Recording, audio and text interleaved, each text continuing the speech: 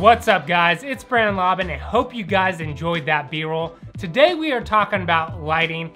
Over the last three weeks, I got these two lights I've been able to test out. They are from Sandmarc, the ProLight Mini Bicolor Light and the ProLight Mini RBG. And that's what we're gonna be talking about in this episode so you can find out which light is best for you. So let's roll that intro, let's open these boxes and let's go.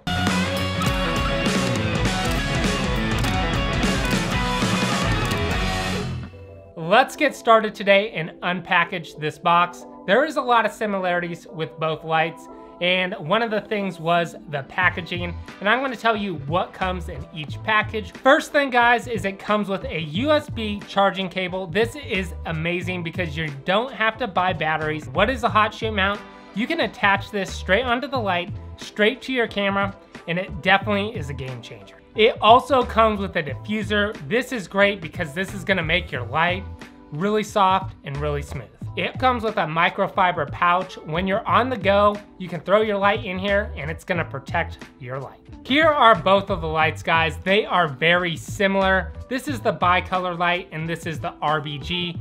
They're both as big as a credit card and that's one thing I love about them. They're travel friendly, they're small, they're compact, and if you're on the go, they're easily portable. Over the last three weeks, I got to test out these lights, and one of the things that impressed me was the battery life.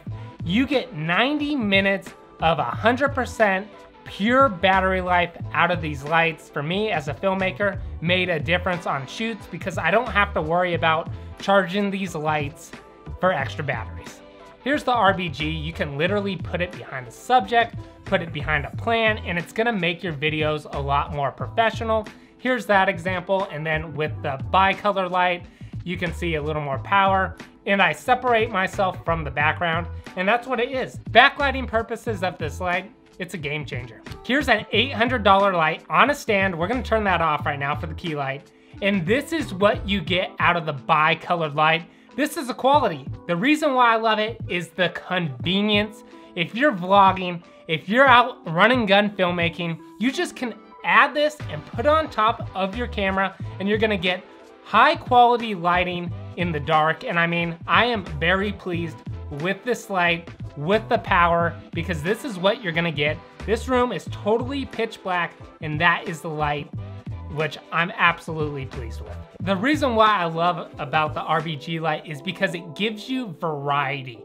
You can get really creative with this light. So if you're filming portraits, if you're filming at night, you can change the colors. You can change the different scenes, the atmosphere, the hue to make it feel moody, to make it feel vibrant. Because with this light, it changes colors and that's what this light is all about.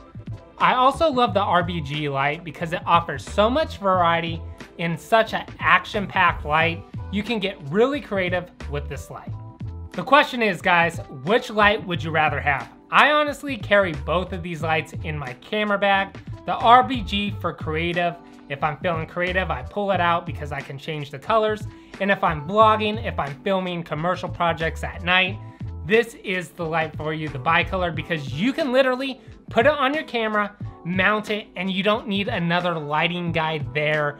Basically, it's a one-time shop, and honestly, this is the light for you.